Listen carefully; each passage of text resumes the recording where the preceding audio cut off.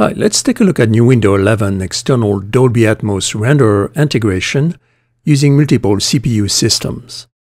The Dolby Atmos Mastering Suite software package includes the Dolby Atmos Renderer 3.5 or 3.5.1 for Windows and Dolby Atmos Renderer Remote software.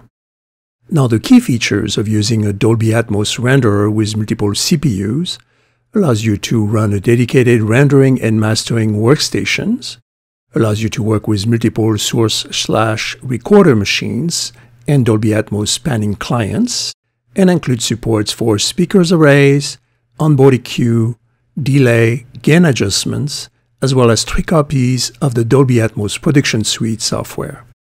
Now, when using multiple computers to reduce the needs of multiple display monitors, keyboards, and mouses, a KVM switch is recommended.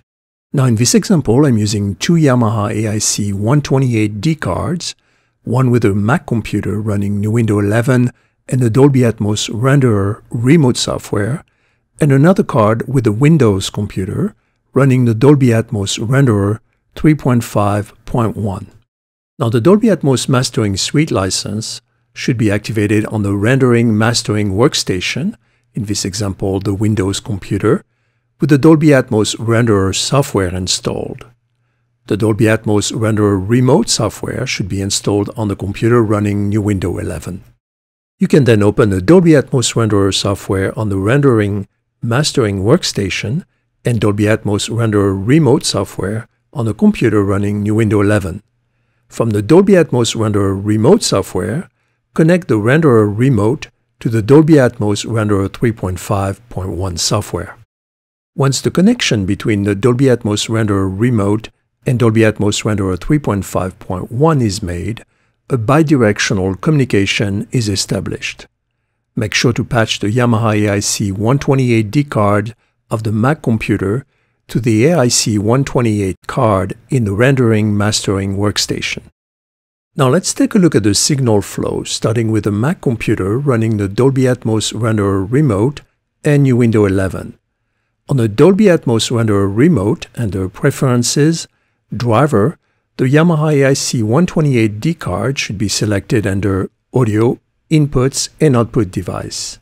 In Nuendo 11, under Studio, Studio Setup, Audio System, the Yamaha AIC 128D card should be selected.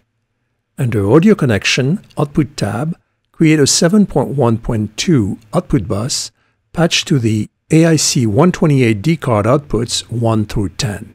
To synchronize via LTC Nuendo 11 with both Dolby Atmos Renderer Remote and Renderer 3.5.1, a dedicated channels, in this example channel 89, is needed using Steinberg SMPTE Generator plugin. Now from the Dolby Atmos renderer, the signal can be processed through a DSP processor and or power amplifiers to fine-tune your speaker configuration in a monitoring room.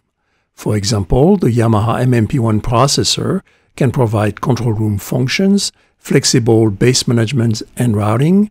It can be controlled directly from a Nuage system. Now let's take a look at Nuendo 11 setup requirements when using the external Dolby Atmos renderer. All bed channels should be routed to the main output bus 7.1.2 or a specific speaker, and all object channels should be bused to the main bus. Now let's take a look at the external Dolby Atmos renderer setup window in Nuendo 11 under Studio, External Dolby Atmos renderer setup. Connect to the Dolby Atmos renderer using a list of available IP addresses that the Dolby Atmos renderer remote has identified as available for connection under Preferences, Remote Clients, and click on Map All to patch Nuendo AIC 128D output ports to the Dolby Atmos renderer input ports. A preset can be saved, removed, or renamed. Open the ADM authoring for Dolby Atmos window under Project or File Export ADM and select External Dolby Atmos Renderer under Renderer.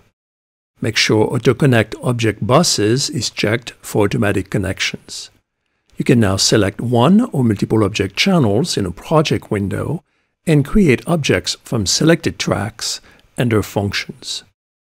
Now the external Dolby Atmos renderer setup window can also be opened from the ADM authoring for Dolby Atmos window by clicking on the renderer setup icon. Now if we take a look at Nuendo 11 ADM authoring for Dolby Atmos functions, AutoConnect object buses will automatically add object buses in the audio connection output tabs, automatically set the VST Multipanner to object mode and route it to the renderer, and the Dolby Atmos renderer will automatically add an input status indicator for each object channel. So let's take a closer look at the Dolby Atmos renderer software. I have the Dolby Atmos renderer 3.5.1 open on the Windows computer, and under File, Settings, Driver, the AIC 128D cards ASIO driver is selected under Audio Inputs and Output Device. A dedicated audio channel, in this example channel 89, is also selected for LTC sync. On the Mac computer, I have the Dolby Atmos Renderer remote software open and connected to the server, in this example a Windows computer. Once the connection is made, a bidirectional communication between the Dolby Atmos Renderer 3.5.1 and Dolby Atmos Renderer remote software is activated. Now if we take a look at the Nuendo 11 Dolby Atmos project, the external Dolby Atmos renderer setup window under Studio should be connected to the renderer and map from the AIC 128D cards to the renderer.